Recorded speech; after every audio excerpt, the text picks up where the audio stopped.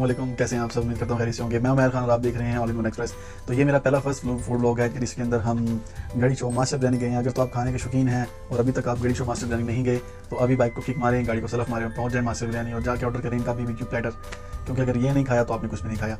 हमने B B platter इनका order किया था, उसके अंदर इनके टोटल जितना मेन्यू है, उसमें से हर एक चीज़ ये दो दो पीस करके देते हैं। उसमें बिरयानी होती है, रायता, सलाद और इनके जितनी भी वैरायटी है, वो सारी एक थाल की सूरत में बहुत ही खूबसूरत अंदाज में वो आपके सामने पेश करते हैं। ये वीडियो में आप देख रहे होंगे।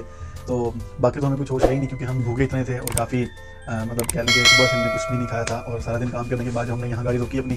तो हमें यही इनका पेटर पसंद आया और हम टूट पड़े। इसके बाद कोई होश नहीं कि मैंने वीडियो बनानी है, मैं खाने से पहले वीडियो बनाऊँगा, खाने के बाद बनाऊँ। कुछ भी ऐसा सीन नहीं था। इनके हर एक टेस्ट मतलब कह रहे हैं, हर एक बाइट में फ्लेवर आ रहा था। हर एक बाइट इनकी कमाल थी। चाहे वो टिक्के होते, चाहे वो सीख कबाब थे चिकन कबाब थे बीफ कबाब थे ड्रम स्टिक थी मलाई रोटी थी पिज़्ज़ा कबाब था और पता नहीं क्या कुछ इन्होंने दिया हुआ था। साथ इन्होंने पराठे दिए थे और सेंटर में इन्होंने चावल रखे हुए थे और उसके इर्द गिर्द कबाब थे। साथ रायता था और सब कुछ बहुत ही कमाल था। और जितनी हमें भूख थी तो ये टोटल थाल जो है, ये हम दोनों ने बैठ के खा ली थी। ये साथ मेरे भाई हैं।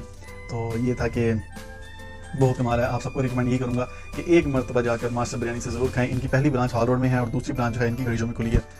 तीसरी ब्रांच है, मुझे पता नहीं कि ब्रांच का मुझे भी नहीं मालूम। बहरहाल जो ये दो ब्रांचेज हैं, ये बहुत कमाल है और बहुत अच्छा ये टेस्ट दे रहे हैं लोगों को। तो एक दफ़ा ज़रूर ट्राई कीजिएगा। और इस चैनल को लाइक करें सब्सक्राइब करें और आगे से आगे शेयर किया करें। और अपना और इस चैनल का खास ख्याल रखें। अब मैं यहाँ से जा रहा हूँ। आप लोग ये पूरा ब्लॉग देख के आप इस वीडियो को लाइक ज़रूर कीजिएगा। तब तक के लिए अपना ख्याल रखें। अल्लाह हाफिज़।